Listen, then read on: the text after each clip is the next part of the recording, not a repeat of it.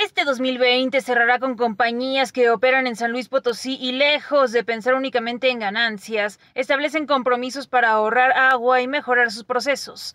La directora del Comité de Mejoramiento Ambiental y primer vicepresidente de Industriales Potosinos, Adriana Aldred Rodríguez, hizo énfasis en las actividades en favor de la mitigación del cambio climático, en línea con los Objetivos de Desarrollo Sustentable de la Agenda 2030 de las Naciones Unidas. Una empresa que está aplicando técnicas de reducción en el calentamiento del agua para lavar eh, en sus líneas, en sus líneas de proceso, y están aplicando una enzima orgánica que ayuda a reducir la utilización de agua en un, de un 50 a un 60% anterior significa la reducción de costos por el uso de agua. Es una innovación de una empresa potosina desarrollada aquí, pues es un orgullo que pueda aplicarse aquí. Aldred Rodríguez relató que otra fábrica ha disminuido la aplicación de 8.000 litros de tolueno al mes a 800.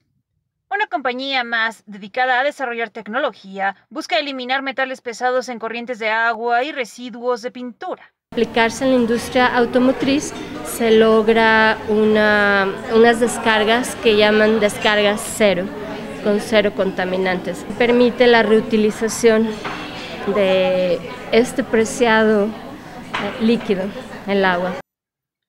Asimismo, Adriana Aldret informó que desde 2019 en una empresa también asociada a Industriales Potosinos se optó por el aprovechamiento de las aguas grises por medio de un filtro orgánico que casi logra la alcalinidad del agua.